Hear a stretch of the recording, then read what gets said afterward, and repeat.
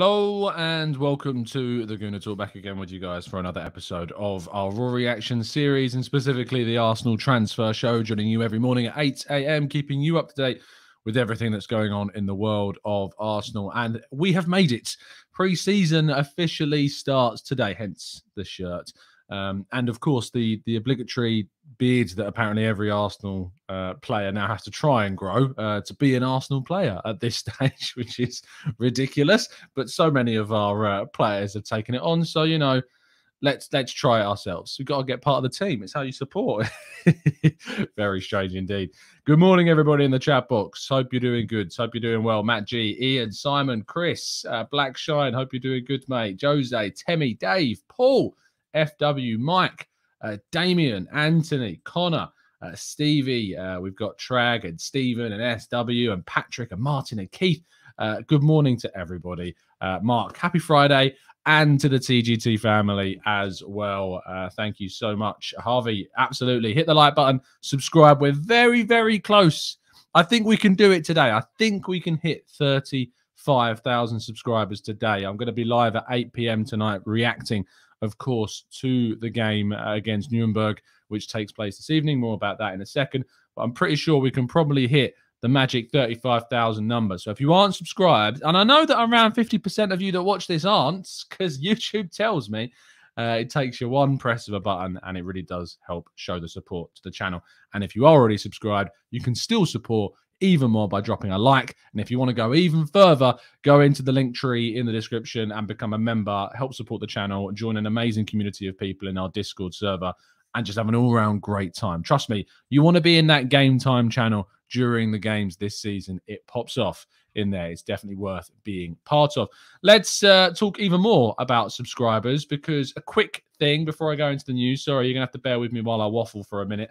Um, but the Arsenal Way hit 20,000 subscribers uh, yesterday. We started this channel all the way back in August of last year. So we've managed to do this in less than a space of a year. I say we because it is a, a team of people myself, Chris, Bailey, Umar, uh, Guy, of course, previously, Hush, who's recently moved on. Uh, we've got people like Alfie and Charlie that have uh, have joined us uh, in in this journey as well. Uh, Gina, of course, who was a big part of the uh, the branding and and uh, and the imagery and stuff like that. It's been amazing the the work that's gone into this. Plus, uh, help from people like Kaya Kaynak, of course, as well, who comes on very regularly with us uh, to provide lots of journalistic insight uh, and loads of special guests and interviews as well. Amazing, um, amazing things have, have happened there the big thing for me, you know, is that I took over TGT from Craig, who does the same old Arsenal all the way back in 2015, and we were on about seven, eight thousand subscribers when that happened. And of course, it's amazing taking the channel and and, and building it and, and, creating this community here, and we're nearly at 35,000 subs.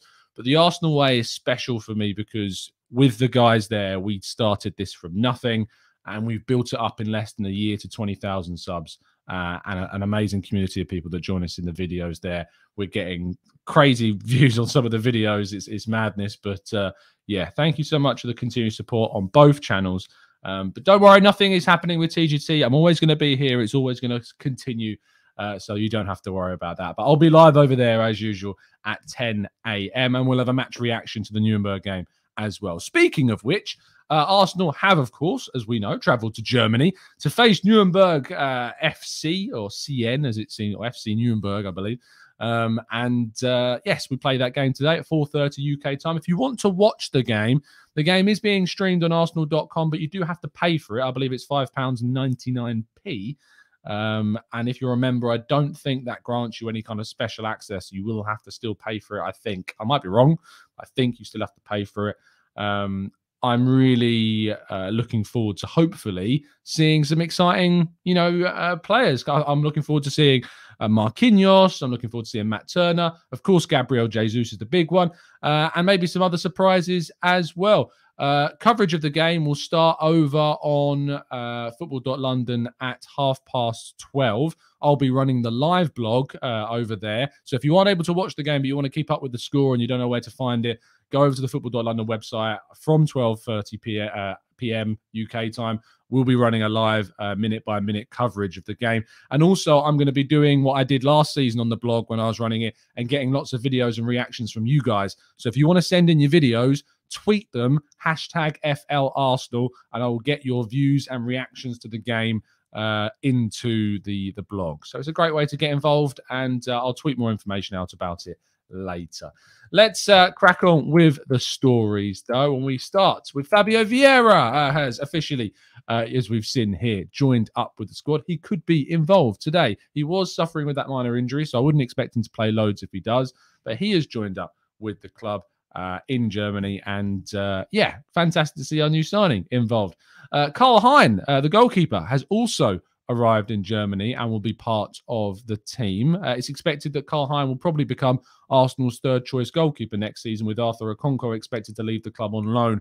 Uh, Karl Hein spent some time, I believe it was with Reading last season, and Okonkwo, it's now his turn to go out on loan this season while Hein becomes the third choice and probably the uh, the League Cup goalkeeper, maybe in some fixtures. Uh, now, every single day, I feel like I'm bringing new updates around the Arsenal Academy and the new players that are signing their professional contracts. And I have to bring you another one today. Henry Jeffcott uh, has signed uh, his first professional contract with the club, as you can see here. Massive congratulations to him and all of the other players that are.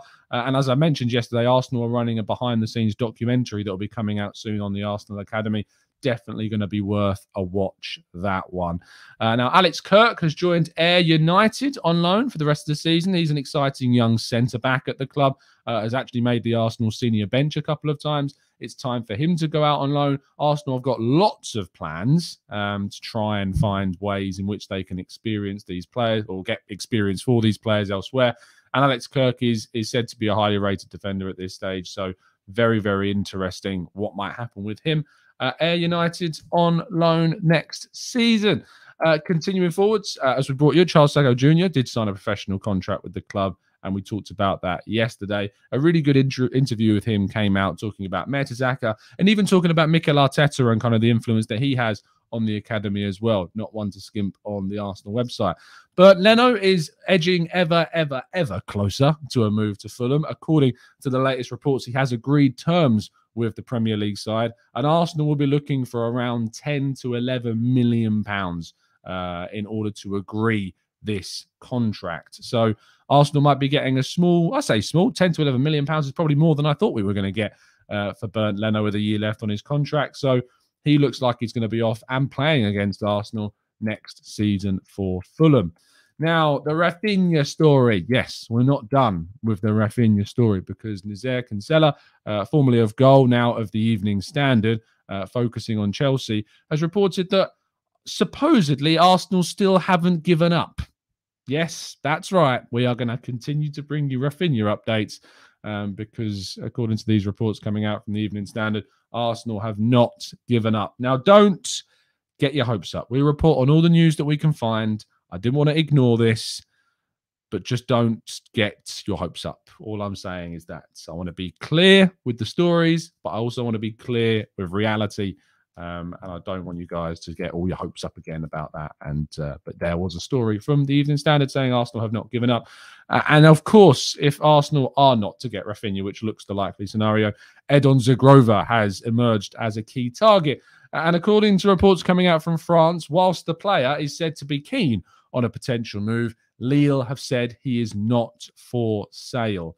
Um, they believe he is a player that can become a world class talent, and he's only been at the club for six months. They want to have him for next season. They want him to be developed so they can make even more money on, on him, of course, in a year's time. Arsenal have identified this player as something special. And if you want to find out why they have, you can go and watch our tactical breakdown on Edon Zhegrova that came out yesterday. If you're watching this on playback, I'll make sure there's a little thing in the top right hand corner of your screen um, to go and watch it. But uh, that is the last upload on the channel before this show. Uh, and you can go and find out all about him and actually how he outcompetes Raphinha, Saka, and Asensio in plenty of different metrics. Uh, it's very interesting indeed. It's quite how talented this guy is. Uh, now, moving into some of our headline stories, Youri Tielemans. Uh, the latest on Youri Tielemans continues to be that a bid is supposedly being prepared.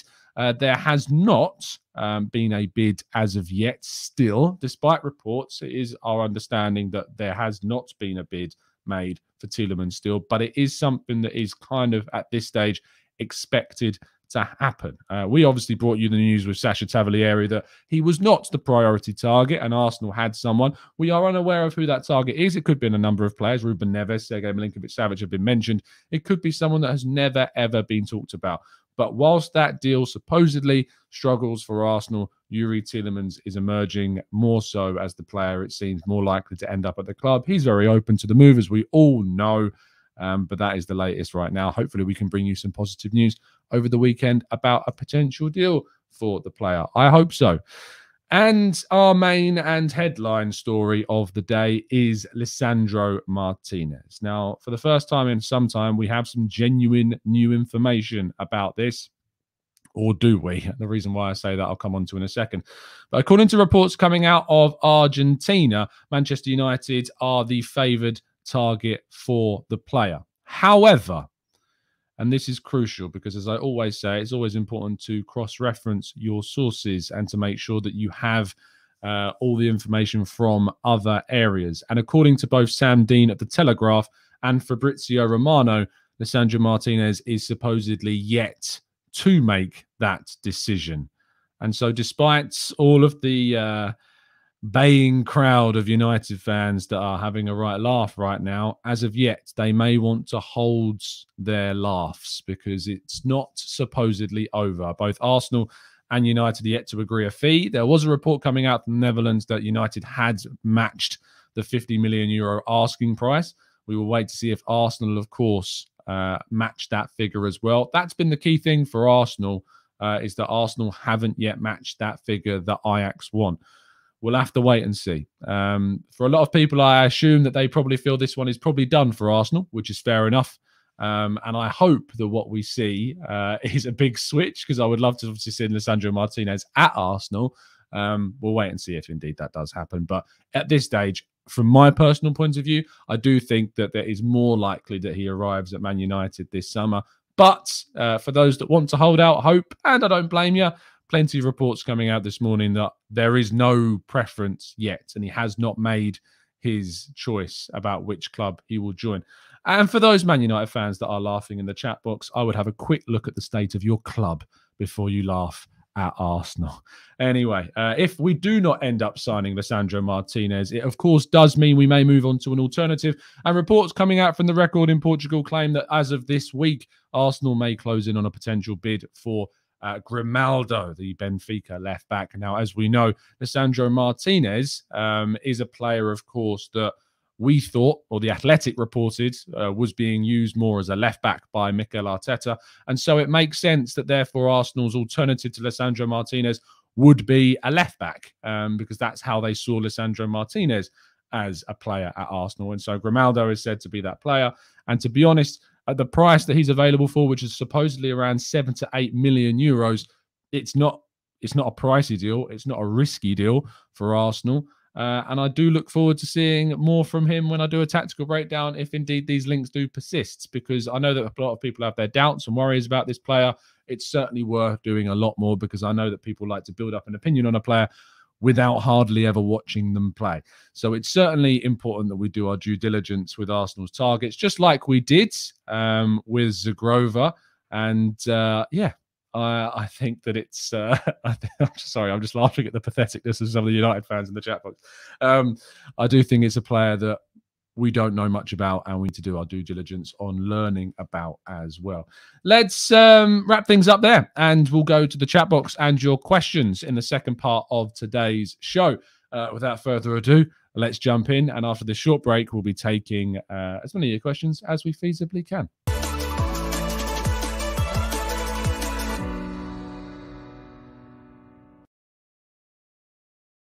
Okay, if you do indeed have any questions you'd like to throw into the chat box, then please make sure you do. Uh, let's scroll up and um, try and break fast all the all the trolls there in the chat box this morning. Amazing, isn't it? How they can take the time out of an early morning on a on a Friday to make time to troll a chat box. Crazy. Um, let's go to Michael. He says, I feel that the Martinez and Raphinha news is more PR for the club so they can distract the majority of the fan base, making them believe they are trying instead of moving on and bringing players in. As always, I think this is, with respect, rubbish. I don't think that there is um, PR from the club at all with these types of links. Arsenal have been trying to sign Raphinha. Arsenal have been trying to sign uh, Lisandro Martinez. They gain absolutely nothing from distracting the fan base um, with the types of links. And as we know from the Fabio Vieira deal, lots of things go on behind the scenes that we don't know about. Um, and so, therefore, uh, to say that these are PR stunts, I do think is a little bit of a strange one. Um, let's go to Sean, who says, Do you think Leicester are playing hardball and wanting to delay the Tielemans from coming? No, I don't necessarily think so, Sean. I think if Arsenal bid 30 million pounds, they'll get their man. They just haven't bid for the player yet.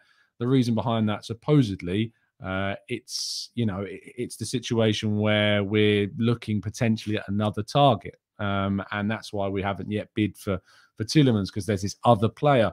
Uh, that Arsenal have been looking at. The Robots will let you says, of course it's PR, just like trying to sign Vlahovic. Again, the amount of people that bought into the idea that Vlahovic was a PR stunt is you know, beyond me. Arsenal for a long time spent time trying to convince the players' party to be open to the move. They never put a bid in for the player because they never managed to convince the player to choose Arsenal. Instead, they end up going and get Gabriel Jesus. I mean, look, if it makes you feel better, if the conspiracies make you feel better, that's down to you. I'm not going to be one to certainly buy into them. That's for sure. Um, Mel says, "What type of player is Grimaldo?" I need personally to do my more research. I'm not going to sit like some do and just plaster an opinion about a player uh, all over social media without having watched him. So I'm going to, Mel, I'm going to ask you to be patient. I'm going to wait. I'm going to do some research on the player probably today uh, for FL and uh, and get back to you on that one. Uh, Bradley says Leno for 10 million. He's a Premier League goalie. Fulham are robbing us. Uh, he's got one year left on his deal. He's barely played in the last year. And for that reason, and he wants to go. All of those factors combine to make him that amount of money. I know that there are other teams like Liverpool and Chelsea that get very good fees for their players. I understand that. It's frustrating. Arsenal's reputation at selling also comes into this, but a goalkeeper with one year left wants to go, has barely played, um, and doesn't have bundles of interest from lots of teams either that are willing to pay anything more than that. Um, means that that's what he's going to go for. Um, so there you go. Uh, says, Tom, any idea who that mystery midfielder is? No, uh, honestly, you know, we can all speculate about whether it was Ruben Neves, about whether it's Sergei Milinkovic Savic, about whether it's someone else. But no, is the honest answer. We just don't know who that is. Freddie says, Did you hear about the Paqueta links? Apparently, he doesn't want to come to us. We reported on the Paqueta links a little while ago. I've not seen the report saying he doesn't want to come to us, but I haven't also seen anything that is, you know, concrete telling us that we are indeed going in for him. Um, let's go to Stephen, who says, We went for these players and they have decided to go to other clubs for their own reasons, just like Jesus decided to come to us and not other clubs. What will always frustrate me about us or Arsenal being criticised, I say us because I'm an Arsenal fan. You know, what will frustrate me about Arsenal being criticised about either missing out on Raphinha or missing out on another transfer target is because we, for so, so, so, so long, went for players that there weren't that much interest in from other teams. You know, when we signed Partey, he was the only player, we were the only really club that were looking to activate his release clause, and that was used as a stick to beat Arsenal. When we signed Alexandre Lacazette, we were the only team really to go and sign Alexandre Lacazette, so we didn't face competition, and that was a stick that was used to beat Arsenal. When we signed Ozil, when we signed Alexis, when we signed uh, loads of big players, Aubameyang, Shkodran Mustafi, Xhaka, why was no one else in for these guys? People said. Why was no one else going for them? Arsenal need to go for players of quality. Arsenal need to go for players that other teams want. Well, we're doing that, but it doesn't mean that you're always going to win those races. And it is not worth criticising Arsenal for missing out on potential targets when we go for other players that other teams also want and we don't always win the race. Because the only way that Arsenal are going to get genuine quality into the club is by signing players that other teams want, like Jesus, like these profiles that we are trying to sign like Raphinha, like uh, Lisandro Martinez. Other teams want good players. So we can't criticize the club for signing players that no one else wanted and at the same time criticize players or criticize the club for trying to sign players that other teams want and not always getting them. That's such a hip, hypocritic and you know contradictory position to hold, and it does genuinely frustrate me. Uh, the robots will let you says Tom. It's because we've not been able to pit another club to a big-ish signing. Uh, well, except Jesus, if you believe the rumors. And again, this is the thing: is that I would implore you, robots, to believe the rumors. And I ask you, do you? Because for me, that very much sounds like you're trying to undermine a opposition point of view by saying they're just rumors. It's not true. You know, it's just PR that other teams were interested. I can tell you for a fact that other teams like Chelsea, Juventus, Tottenham were interested in Gabriel Jesus. Real Madrid even held an interest in Gabriel Jesus. Arsenal won the race. He wanted to come to Arsenal. We convinced him. And so, therefore, you know, there's just no argument. Arsenal are trying to sign players that other teams also want, and that is a good thing. But it does mean that we're not always going to win the race. And that's not something to be critical of because until we get back into the Champions League, we aren't going to be going for these players. I had an actual debate with a former Arsenal player the other day about this idea that, yes, I'd love to be linked with players linked like that are in the Champions League and that want to play Champions League football. I'd love to be in for those, but the reality for Arsenal is, is they aren't in the Champions League yet. They nearly were, but we're not. And so we need to go for players that are going to improve us. We need to take that next step next season, and we have to qualify for the Champions League. We have to. It is a minimum expectation for me next season. We have to qualify for the Champions League. If we don't, there are going to be serious, serious questions about where we're going and what we're doing. Um, and that will fall on the coach. We have to qualify for the Champions League next season. Uh, there would have to be quite a monumental reason for us not doing it because we have to take that next step and progress. Um, but yeah, it's a frustration for me that even now, when Arsenal are doing things that we have called and cried out for for so long, that they then still get criticised for it. I just feel like some people aren't going to be very happy uh, ever. And that's kind of the situation. And says, Do you think the pool of players of potentially great players are so small that the top clubs will be going for the same players? Uh, what can Arsenal do to get these over the likes of Chelsea and Liverpool? Uh, the answer to your first question, yes, the pool of very, very good players are very small. It is, you know, to be at the absolute top level of the game, it is the 1% of the 1% of the 1%, which means that you have a very small group of players to choose from, which is why Arsenal in the last few years have tried to sign players that can develop into that small percentage, that small pool. Players like Tomiyasu and Gabriel and White and uh, and Odegaard and now Fabio Vieira. Jesus, I feel, is, is so close to that very world class pool of players. You know, um, very, very close indeed. We've signed players like Partey and Jesus because we looked at them as players that could be transformative for the team um, around these guys that could develop. In answer to your second question, what can we do? The answer is the answer is pay money. Firstly, you got to pay the money if you want these good players. You've got to try and outcompete others in the market. The second is you've got to convince them of the project. And I know that people don't like the word, but yes, the process. We have to convince them of that that we are going in the right way. And Jesus certainly bought into that. And you can read his interview of Goal where he talks about that. Um, and thirdly, we probably need Champions League football, which we don't have right now. Um, and we need to be able to offer that as well. So that's that's kind of the issue that we're in. Uh, Wayne says, "Are there any uh, decent left backs in mind?" I think was when we talk about this, we need to talk about players that can play centre back and left back. I look at someone like Gvardiol at RB Leipzig as a potential player that can play centre back and left back. Maybe that's someone that Arsenal should be looking to as a potential target instead of Lisandro Martinez. I would probably look to someone like him. Um, Mud says it definitely doesn't feel like eight months of work has gone into this window. So far, there is time left before the season starts. I disagree with that because it's the first time Arsenal have spent the amount of money that they've spent bef- uh, more than a month before the season started, bringing in four players, of course. And we have clear targets. You know, we wanted Raphinha, we've wanted Tielemans, and another player clearly in the midfield. We wanted Vieira and Jesus. We wanted to renew Eddie Nketiah's contract. We want to bring Saliba back. I disagree with that wholeheartedly. I think that there's been planning going into clubs, uh, into the club for a long time. Um, and we're seeing the benefit of that with some early business. and there is plenty of time remaining before the season starts. But we need to do that. And, you know, until that point comes, I will continue to be patient. But at the point that we start the season, and we've, if we've not got the players in, that is when I will be critical. That is when I will be asking the questions. Some people say, well, that's too late to ask questions. Well, that's just not me, I'm afraid, guys. You know, I'm a reflective person. I'm not a reactionary person anymore. Um, I'll reflect and choose my choice of decision on that based upon when the season starts and what we've done. Until there is, if there is still time to get business done, I will be open to waiting for that. Um, Wesbird says, as you've said many a time, in your humble but accurate opinion, uh, that unfortunately it takes time to sign players, and we as fans have to be patient, as frustrating as that may be.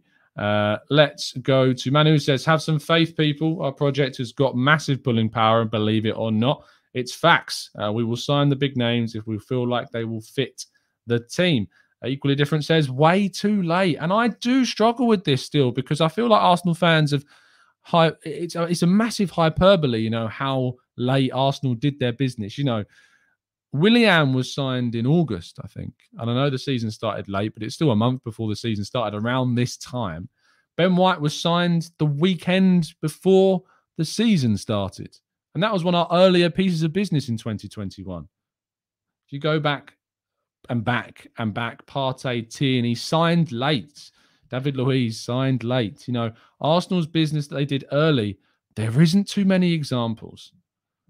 But there is a lot of examples this summer and yet, for some reason, there's still this block that we have got to appreciate um, what we are doing now.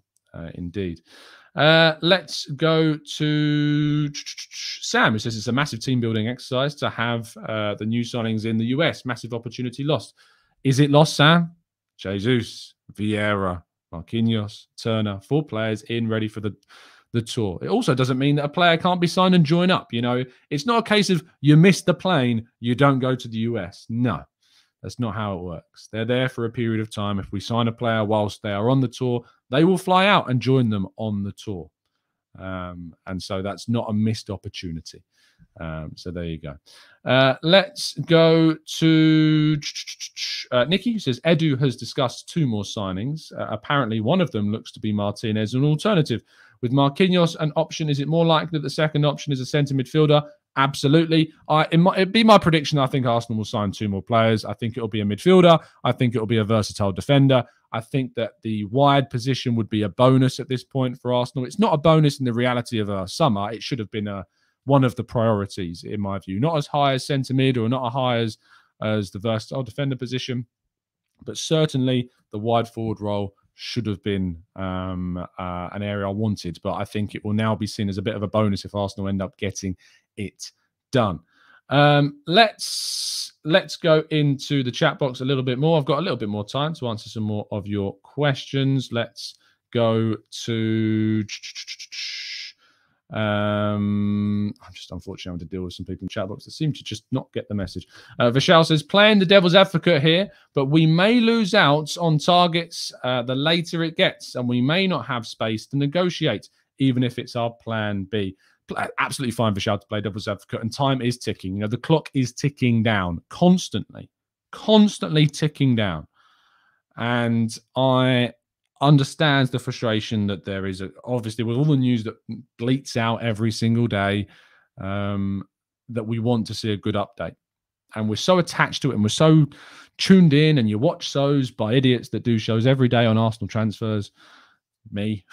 uh, and you want to hear more positive news. I get that. But we, you know, we just have to. We just have to be that little bit more patient. There's still plenty of time left to do more business this window. Uh, Wayne says um, they done nothing in January though, Tom. So done early uh, now isn't actually early, really, is it? Um, I mean, yes, it absolutely. Wayne, it's a different window.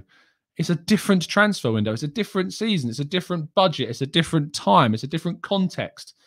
Absolutely, it's early because it's a different transfer window, mate.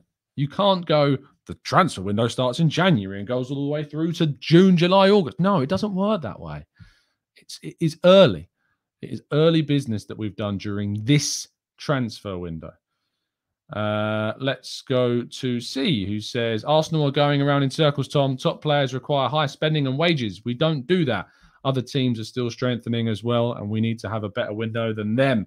Um, we obviously we have a good foundation as well that we're building from, but I don't think we're going around in circles at all. They do require high spending and wages. That's why one of the signings we've made, we spent big on and made him the highest paid player at the club. So it's not like Arsenal don't do that, is it? Um, as you've quoted, we don't do that. One of the signings we've made, we spent one of our biggest transfer fees on and made him the highest paid player at the club. So, factually, I'm sorry, but that isn't true. Isn't true at all. Uh, Riddler says Lille have rejected Arsenal's bid. Edon is 100% staying at Lille for another year. We talked about that earlier on. Uh, let's go to Mikey says, Tom, how do you deal with all these silly questions? Look, there is such thing as silly questions. And usually if they're, you know, if they are genuinely silly and they aren't getting the hint or if they are just being trolls, they're not welcome. You know, we don't deal with trolls in the chat box. Is that I want to I want a constructive environment for you guys to enjoy these shows in. And so we don't deal with that. But not all questions are silly. Some are genuine. Some just don't agree with my point of view. And that's fine. You know, you can have a different point of view, you can ask questions, but I will disagree and I will try to explain to the best of my ability why I disagree. And I hope that that is appreciated. Um, unlike these kind of comments from Warren, delusional. This is such a problem in the Arsenal fan base. Calling people's opinions quote unquote delusional is one disrespectful because it offers nothing uh, in regards to kind of, you know, an opposite point of view at all. It doesn't explain anything. You know, it just makes people look silly. it just makes people look really, really silly.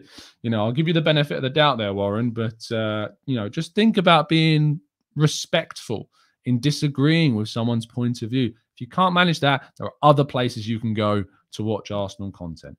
Um, let's go to uh, Ayath, who says, Would Matheus Nunes be a good surprise centre mid? He would. He's a fantastic player. I think Chelsea are one of the teams that are looking at him at the moment, which makes it very difficult for Arsenal to compete, of course. Um, Chelsea are just Chelsea are a bit of a bull in a china shop at the uh, in the transfer window this year because I think Todd Boehly's trying to make a statement.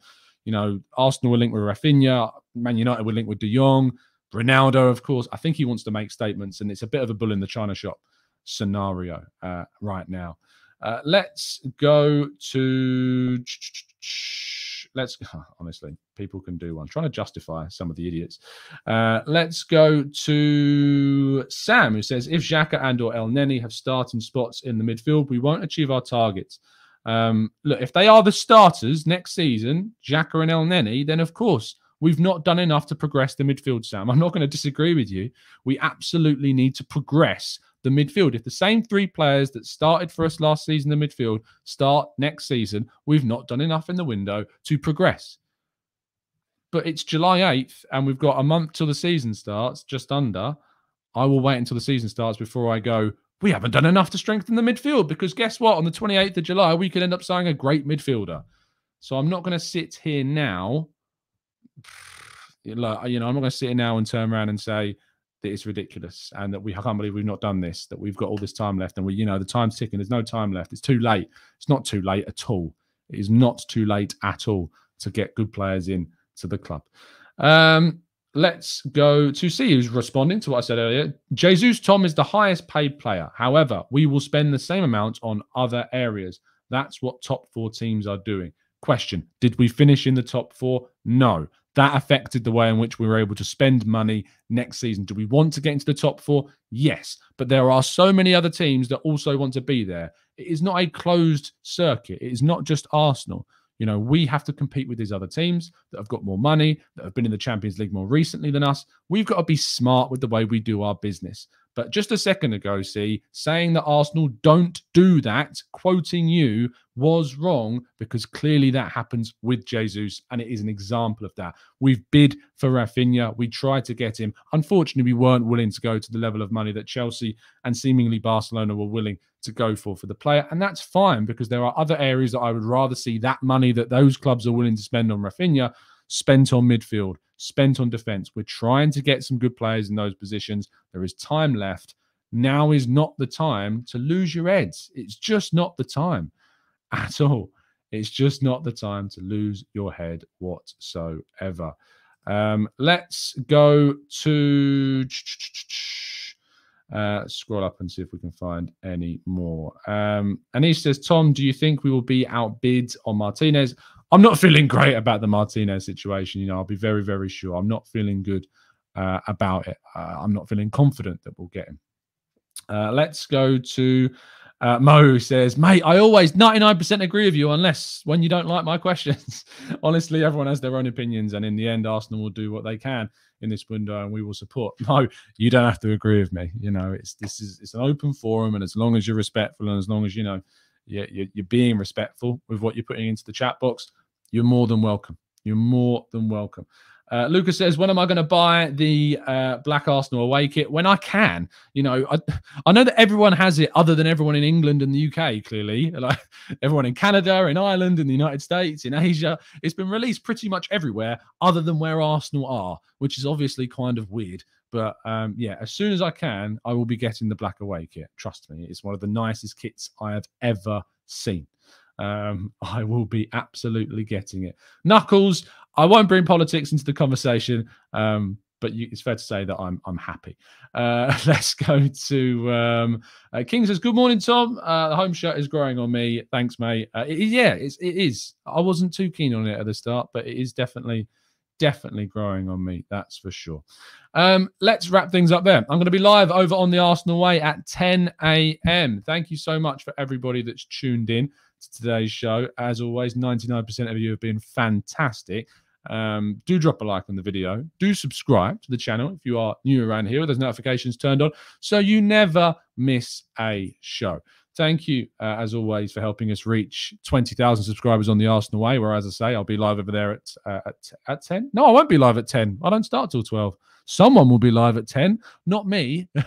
Someone will be live at 10, but uh, I won't be on till 12. But as I said, just to quickly highlight again, and let me scroll back through uh, my PowerPoint because I want you guys to get involved with today's video.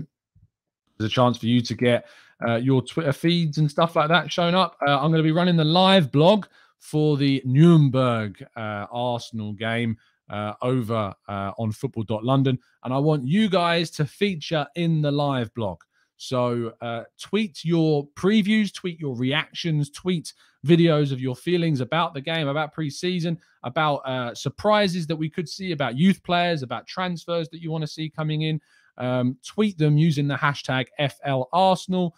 Uh, and I'll be live over there at 12.30 on the live blog uh, and hopefully uh, inputting your thoughts and feelings into that. Dan, in terms of a preview, it's a preseason game. I don't really know what to expect from it. I'm just looking forward to seeing some good football and I'm looking forward to seeing our new boys play as well.